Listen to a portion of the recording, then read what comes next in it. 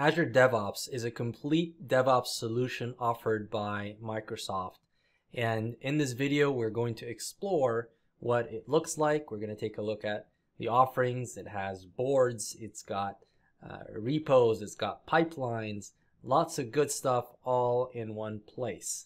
We're also going to deploy a Python Flask application into Azure's app service, all that using pipelines.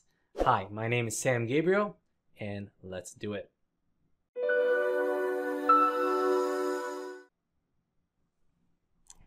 All right, so we are in Azure DevOps, as you can see here.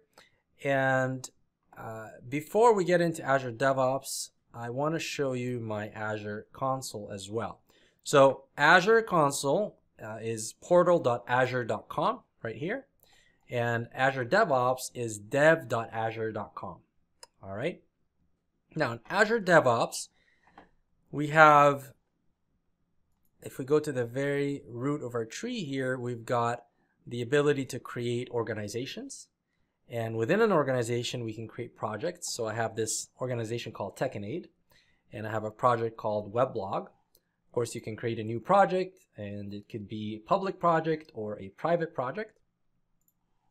Inside the project, uh, you'll see that we have a bunch of options. So we've got uh, this overview page here that pulls from my README in the repo, the main repo that I have in this project. So you can see that we've got uh, boards. In boards, we've got uh, what you can see here is, uh, you know, uh, working items. You can create epics. You can create issues and so on. We've got a nice Kanban uh, board here and we can create sprints and so on. then we've got repos and you can create multiple repos under the same project. I only have one repo here and uh, to create a new repo you just click the plus uh, button here and then you can click new repo and uh, and go from here you can initialize a repo with a readme and also a .gitignore file. I already have a repo. I've got my uh, files here for my application and uh, I even have a pipeline, um, Azure Pipeline YAML file. If you're familiar with GitLab uh, or GitHub, or, uh, everybody has a um, a pipeline file. So it, this one is a YAML file here in Azure DevOps. We're going to get into this uh, later and the specifics of this particular pipeline, but uh, don't worry about it. We will cover that soon. Uh, next portion is the pipelines portion, and this is where we're going to generate a new pipeline and see a build and a deploy into Azure App Service. We've got also test plans and artifacts as well. Now, the first thing we want to do is go to project settings, and you can see here I've got the name of the project, and I also got the visibility. Now, I have the visibility here private, and this is because if you run public, uh, you're going to run into a couple of issues if you're running on the free tier with uh, the issue is with parallelism. So by default now uh, Azure has put parallelism down to zero and you need to send in a request, a, a manual form request to increase the parallelism to at least one on the free tier. And uh, they don't allow public visibility now, so it has to be private to run parallelism and be able to run a pipeline. Now, this is uh, a little bit annoying, but it's not that big of a deal uh, since I'm running this demo. And if you're going to be running in your own organization, you're probably going to have the license for that. So that shouldn't be an issue for you. Okay. Uh, so I want to show you also how to create a service connection, which is very important to connect to Azure. So create a service connection from here and select Azure Resource Manager and scroll to the bottom, click next, and I'll take service principal automatic, next. Now it's going to ask to log in to your uh, Azure account. All right, so I need to pull my password here.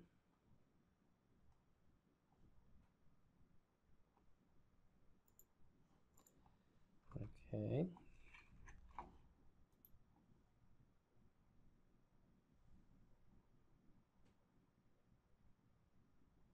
All right, looks like we're signed in. And we don't have a resource group yet. So why don't we go ahead and create th uh, that resource group. So if you go into my Azure uh, screen here, and you can see there are no resource groups. So I can create one from here, or better yet, I'm going to show you how to do this through Visual Studio Code. In Visual Studio Code, there is a very cool uh, plugin here, so or extension. If you go to extensions and type Azure, uh, the first one that comes up is Azure Tools. I already have it installed. You can install this one. It's very neat, and I'll show you exactly what it looks like. So with this extension, you can see that I've already connected to Azure.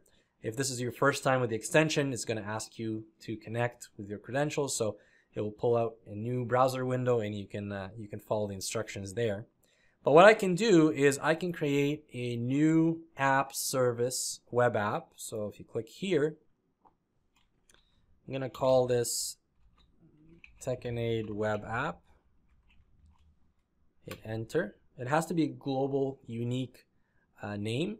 I'm gonna I'm gonna use Python 3.9 for this app, and I'm gonna use a free tier for uh, this app. Okay, so that will take some time. You can see the activity log at the bottom here. It's going to create our web app for us. And once it's, it's completed, it's four out of six here, uh, we'll go into the Azure um, uh, console or portal to, to see that it's been created successfully. Of course, you can create it through the UI or you can create it through the Azure CLI as well. And looks like it failed. Let's see why. Uh, please contact support for issue app service plan create operation is throttled. Interesting. Okay, let's give it another try.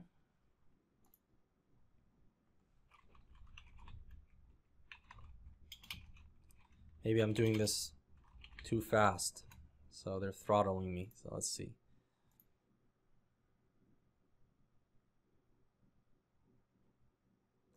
While that continues, let's go over here and refresh our, uh, our Azure portal and see what's going on.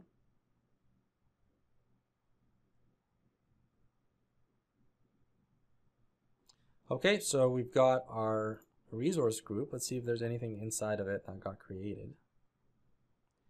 All right, so nothing yet. Oh, it failed again. Okay. Let's see if we can create it manually from here.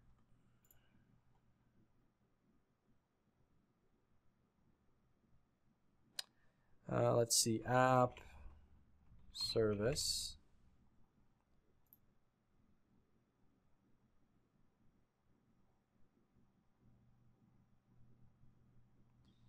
Uh, where is it? Web app. And do I have the correct one? Let's just make sure. App services. Uh, this one. Okay, create an app service.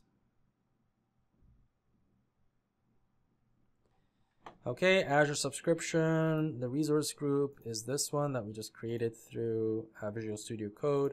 Uh, we're going to name this TeKanAid Web app. Remember, this has to be unique. Code, select the runtime stack. We want Python uh, 3.9. Linux, East US is fine.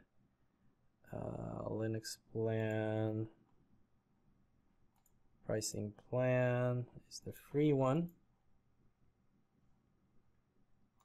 Okay, so let's go ahead and move to deployment. Uh, let's review and create. Okay, let's create.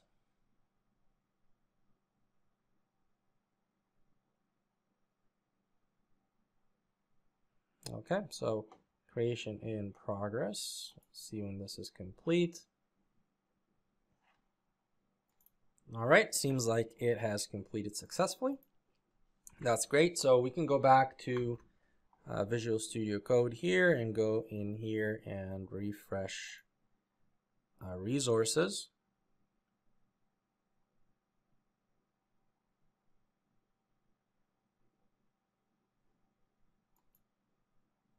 Uh, we can we can uh, group our resources by resource type or by resource group uh, either way, we still need to get this to refresh. Well, actually, while we wait for this to refresh, we can go ahead now and set up our um, new Azure Service Connection. So create a service connection, once again, Azure Resource Manager. Next, next, and now we can pull our subscription here, successful. And uh, our resource group is this one. Uh, service connection name, I'm going to call this SAM Service Connection. Save. And that should create our service connection for us. And give it a second while we come back here and check on our resources.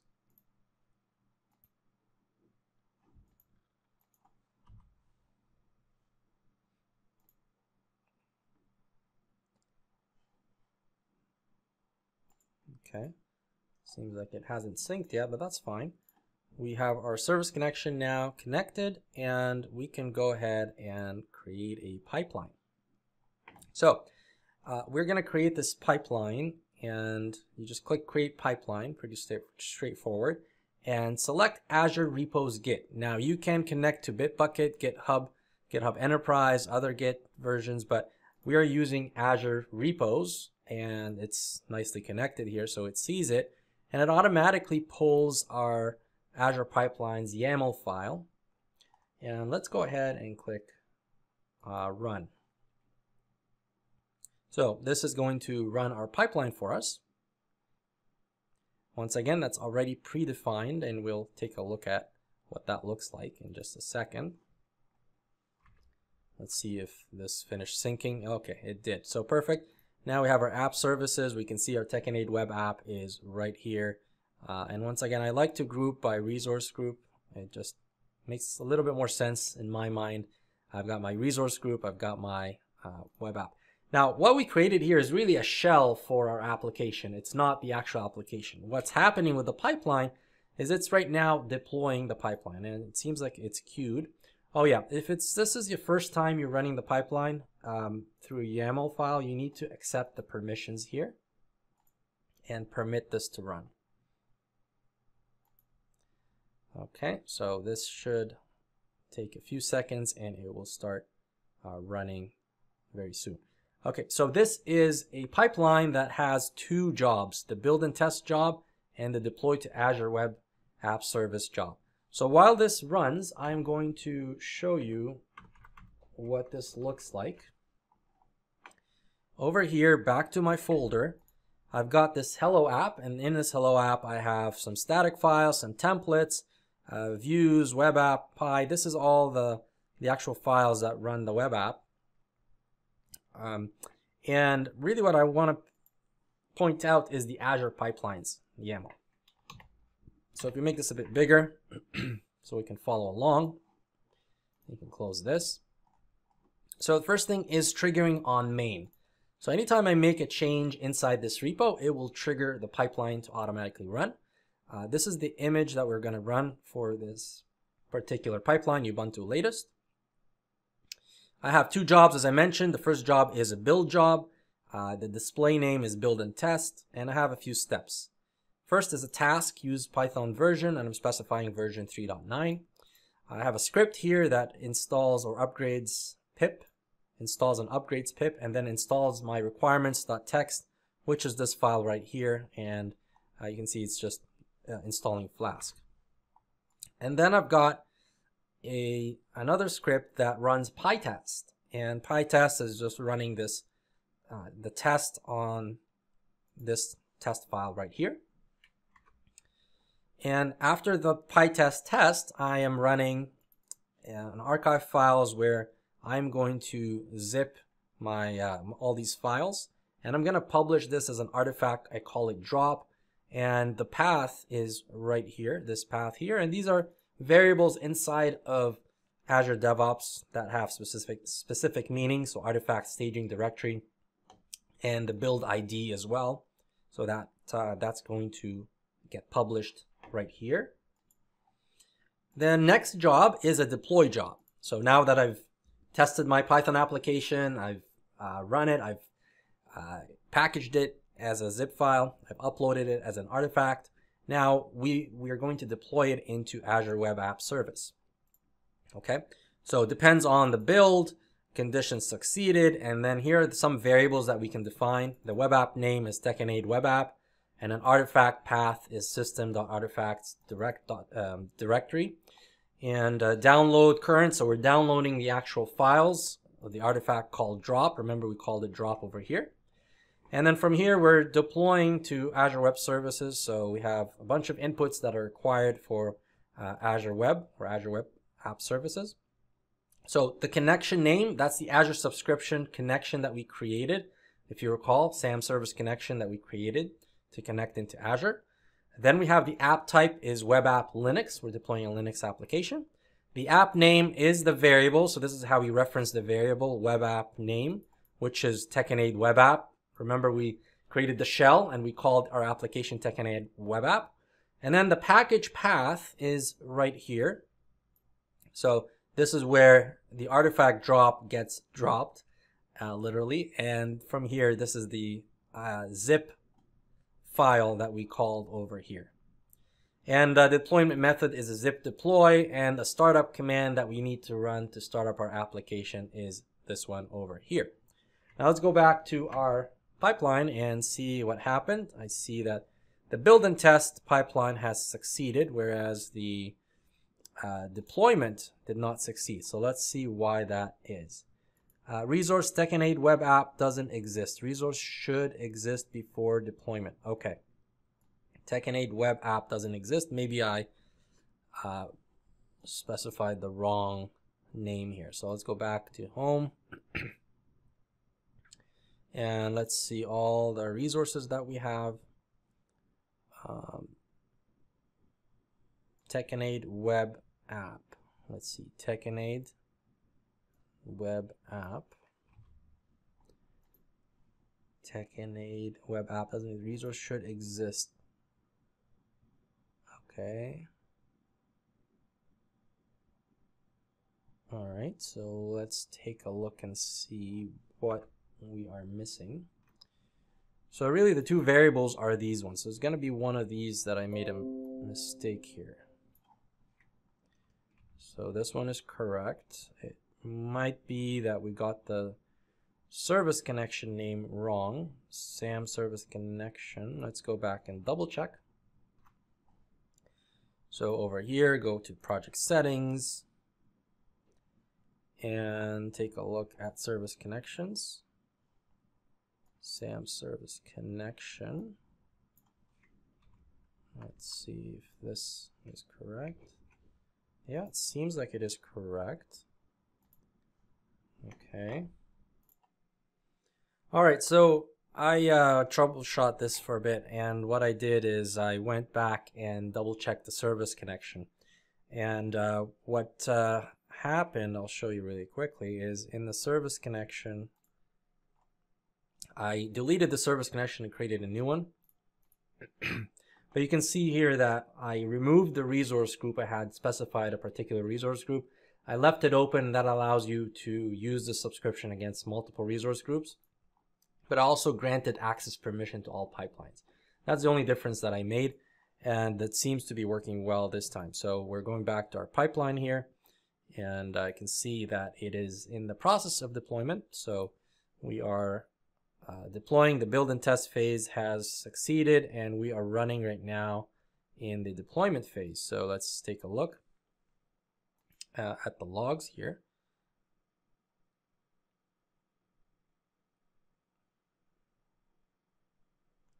Okay, so downloaded our uh, our artifact and now we're in the process of deployment. So we'll leave it for a few seconds, hopefully quickly it will be done. Oh, there we go. That's it. So it has succeeded and we can go back to our deployment and see that uh, here's our link to our uh, our deployment. And it takes a few seconds for it to load so we just got to be patient here. But as you can see that we've got two jobs build and test deploy in Azure and in each step you have uh, in each uh, job you have a bunch of steps. Uh, as you can see, the download step is where we've downloaded our uh, artifact, and here is where we've uploaded our artifact. You can see uploaded the package here, and uh, and then we grab it from the the second job, the deploy job here. Okay, so this should be available soon. All right, as the application uh, starts, what we can do is show you how to use a badge. So you might see something like this if you go to um, repo. And you might see some repos have, this is a badge, right? And this badge, you can set it up so you can go to pipelines and it will tell you basically the success of your pipeline. So if you see it green and it's successful, red, then it, had, it failed. So what we can do is we go, go back to pipelines and go to the top, uh, actually click on the pipeline, the weblog pipeline, and click the three dots at the top and go to status badge. And then you can see the image URL, but grab the sample markdown, copy that to clipboard, and let's go back to our repo. Uh, and then we're going to put it here. But before we do that, let's do a couple things. First, let's um, see why this is not coming up. It's been uh, more than a few minutes. There we go. So here's our application. It's up and running. You can see there's an, a home page, about page, um, and the contact page. Okay. So we're going to do a couple things. We're going to put the badge on, and we're also going to update this uh, home page to just say version 2 here and redeploy the application.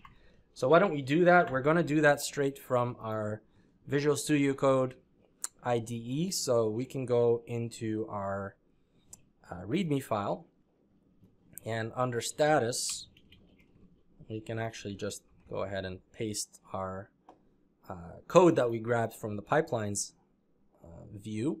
And then from here, we want to go to templates and let's update our home template and say homepage for the Visual Studio Code Flask tutorial. Let's say this is version 2 of the app. And uh, this saves automatically, so I don't have to hit Control S every time. And now let's say deploying version 2, for example. Let's commit that and sync that. And That will publish or um, push our uh, repo. And we should see that our pipeline gets triggered automatically. As you can see like that, it's already running deploying version 2. That's the commit message that we put in. So let's go in and take a quick look. And I'll pause the video until this actually deploys and we'll come back and take a look. All right, so it's successful. Let's go and take a look. Um, okay, everything is successful. If we refresh this page, there we go. We see this is version 2 of the app. Perfect. And uh, if we go back to our repo, we should be able to see, there we go, our badge. It's uh, very nice. Azure Pipelines succeeded. We've done a great job. Um, this is basically a video that we uh, discussed Azure DevOps, how to use it with a, an example Python Flask app, all the benefits of uh, having everything in one place where you've got your uh, your boards, your repos, your pipelines, uh, some test plans, artifacts, all in one place with Azure uh, DevOps, how we've linked it into Azure itself with the Azure App Service, and um, how easy to put all of this together. I hope you enjoyed this video, and I will see you in the next one.